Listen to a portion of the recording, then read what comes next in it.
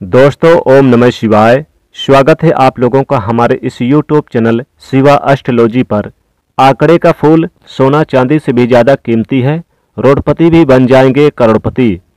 दोस्तों, यह पौधा जो आप हमारे वीडियो में देख रहे हैं, इस पौधे का नाम है मदार का पौधा।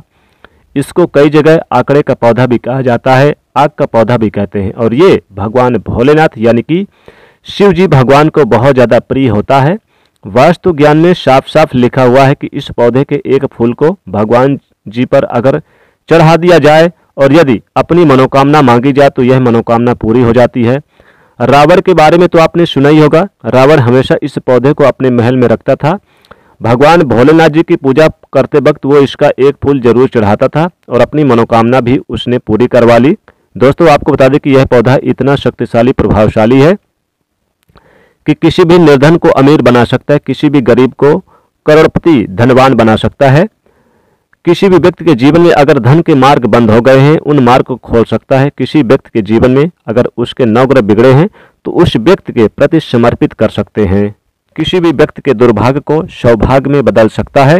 इसलिए मदार का जो पौधा होता है, किसी व्यक्ति के घर में उगता है तो समाज यही कहता है कि अब तुम्हारे घर पर धन आना शुरू हो जाएगा, क्योंकि खुद भगवान गणेश जी का आशीर्वाद मिलता है। दोस्तों, मदार का पौधा जब पुराना हो जाता है, इसका जो फल होता है, वो भगवान गणेश जी की आकृति ले लेते हैं।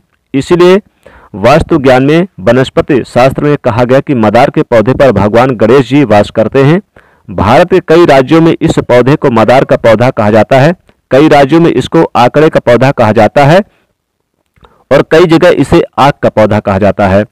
परंतु एक बात समझ लीजिए, भले इसके नाम अनेक हो, लेकिन इसका काम एक ही है, रोगी के रोग को ठीक कर एवं गरीब को धन देना। आपको बता दें कि आयुर्वेदिक शास्त्र के हिसाब से यह पौधा उत्तम पौधा माना गया है। मतलब कितना ही बड़ा रोगी व्यक्ति हो, कितना ही खतरनाक रोग हो, रोगी व्यक्ति को इस पौधे के दम पर ठीक कर सकता है। इसी प्रकार से इसके तांत्रिक गुणों के बारे में बता दें। यह पौधे के अंदर कई देवी देवताओं का वास होता है। इस पौधे के जड़ का सही तरीके से इस्तेमाल कर रहे हैं। तो गरीब दरिद्रता परेशानी कर्ज को चुटकियों में खत्म कर सकता है। आपके जीवन में धन आने के मार्ग शुरू हो सकते हैं, जिसकी आप कल्पना भी नहीं कर सकते। दोस्तों, जो इस वीडियो में आपको जानकारी मिलने जा रही है, वो आपके जीवन को बदल सकता है। आपके घर के अंदर रोज लड़ाई झगड़ा क्लेश होता है, वो सब समाप्त हो जाएगा। अगर आप इस पौधे का सही तरीके से साधना करते हैं तो इसके फूल की सही तरीके से पूजा करने पर आपके जीवन में आने के मार्ग, धन आने के मार्ग खुल जाएँगे। और अगर आप चाहते हैं कि कोई नया व्यापार शुरू करने जा रहे हैं, वो घोड़ी की तेज की रफ्तार से भी तेज़ी से दौड़ने लग जाए। तो इस पौधे की सही तरीके से साधना कीजिए। इसमें भगवान गणेश जी वास करते हैं, इसलिए सबसे पहले हम आपसे निवेदन करते हैं, अभी तक आपने कमेंट बॉक्स में जय श्री गणेश और ओम नमः शिवाय नहीं लिखा तो लिख दीजिए, क्योंकि अगर आपको भगवान गणेश जी का आशीर्वाद मिल गया तो कभी भी कष्ट नहीं आएगा। और आप भी जानते हैं कि भगवान भोलेनाथ ने किसी को आशीर्वाद दे दिया तो उसके सामने काल भी अगर आ जाए तो वह अपना रास्ता बदल लेता है। इसलिए जय श्री गणेश और ओम नमः शिवाय लिखना मत भूलिएगा। तो तुरंत लिख दीजिएगा, वीडियो को लाइक कर दीजिएगा। दोस्तों, इस पौधे में कई गुण हैं, परंतु एक गुण मैं आपको जानकारी देने जा रहा हूँ। इसमें तांत्रिक गुण के बारे में जानकारी देंगे। इसके तांत्रिक गुण दो प्रकार के होते हैं। एक, इसके फूल का इस्तेमाल किया जाता है। दूसरी, इसकी जड़ का इस्तेमाल किया जाता है। इसलिए इस वीडियो को बिना भगाए अंत तक देखेगा। सबसे पहले इसकी जड़ की बात कर लेते हैं। अगर आपके घर में लड़ाई झगड़ा होते हैं, क्लेश होते हैं, परिवार में आपके लोगों में इतना मतभेद हो चुका है कि घर टूटने तक की नौबत आ गई है।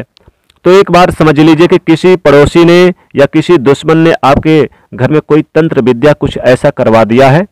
काला जादू जिसकी वजह से यह सब हो रहा है, आपको परेशान होने की ज़रूरत नहीं है। मदार का पौधा जहाँ भी दिखे इसको तोड़कर इसकी जड़ को किसी भी लाल कपड़े में बाँध करके अपने घर के मुख्य द्वार पर टांग दीजिए।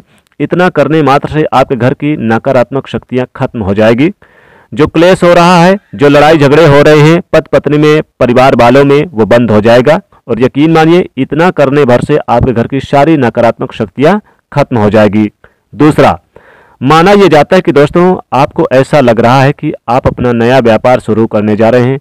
आप नया व्यापार में पैसा लगाने जा रहे हैं, या आपका व्यापार ठप पड़ गया और आप चाहते हैं कि आपका व्यापार घोड़े की तेज़ी से दौड़ने लग जाए, तब आपको जो किया, जो बताने जा रहे हैं, वो भगवान श्री गणेश जी को बताने जा रहे हैं। तो बहुत ध्यान से सुनिएगा।